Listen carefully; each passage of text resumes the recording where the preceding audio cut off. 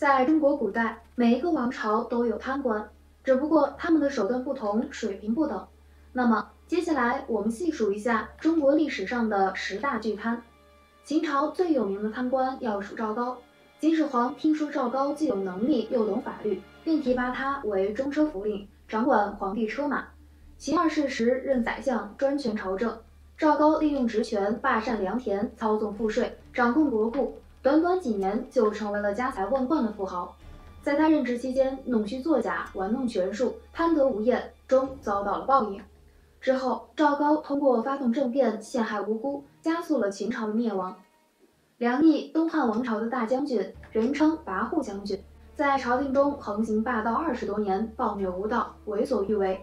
梁氏一门九人封侯，三位皇后，六位贵人，两位大将军，女人拥有十亿成群妻人。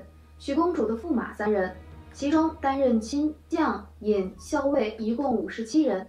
汉桓帝夺回权后，诛杀梁氏，使得梁毅被迫自杀，其家被抄，卖钱达三十多亿银钱，相当于当时国家税收的一半之多。王文书，汉武帝时代的十大酷吏之一。不但如此，他还是一个贪官。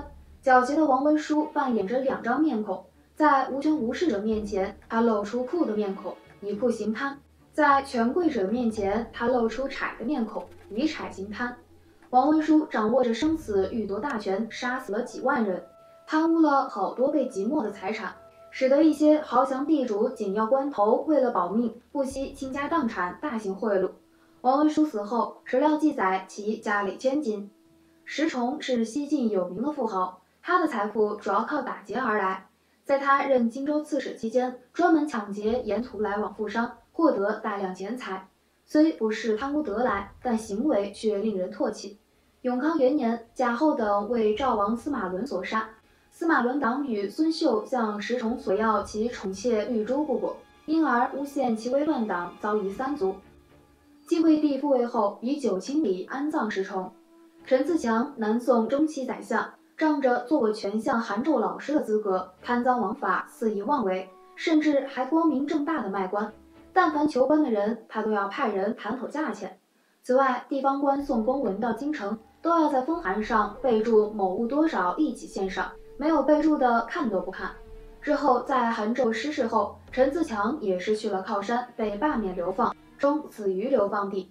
蔡京，宋徽宗时期的宰相，北宋最大的贪官，假公济私，大肆敛财，富可敌国，拥有土地五十万亩。这还不满足。晚年时虽已富贵，却贪婪更甚，不惜用作假账的卑劣行为领取双份的宰相俸禄。宋钦宗继位后，蔡京被下令流放，死于流放途中。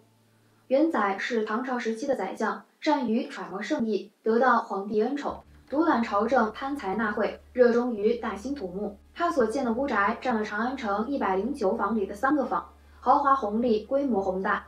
在元载倒台后，没收的宅舍够数百户官员居住使用。此外，他还在东都洛阳建了一座园林式私宅，没收后竟然能改成一座皇家花园。但是最令人难以相信的是，抄家后居然还发现还藏有八百担胡椒。有人换算过，唐朝的八百担相当于现在的六十四吨。明朝中后期，宦官祸乱朝政。刘瑾因侍奉明武宗朱厚照得宠，不仅当上了司礼监掌印太监，还和同样得宠的马永成等组成了八股，掌控着特务机构东厂西厂的实权。刘瑾为积累财富，公开索贿受贿，要求百官来京时都要为其送上银两，少则数千，多则上万。凡行贿者都能官运亨通，没有贿赂他的都被贬职或治罪。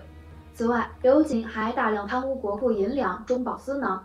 刘瑾谋反失败后，明武宗朱厚照带人亲自查抄其家产，金银财宝数不胜数。严嵩，明朝有名的大宰相，操纵朝政长达二十年。嘉靖四十四年，严氏父子的权力被推倒之后，严世蕃被判斩首，抄严家得黄金三万两千多两，白银二百零二万多两，珍宝首饰、古玩字画等超过皇室珍藏。严嵩被贬为庶民无家可归两年后病死。和珅满洲人清朝乾隆皇帝的宠臣。乾隆皇帝死后和珅失势嘉庆皇帝令其自尽并抄袭家产。有人估计和珅的家产值八亿两白银超过朝廷十年的收入。和珅聚敛财富之多黄金白银珠宝玉器地亩房屋等数量巨大可谓是前所未有。此外在历代的贪官中和珅可谓是古代史上首屈一指的巨贪。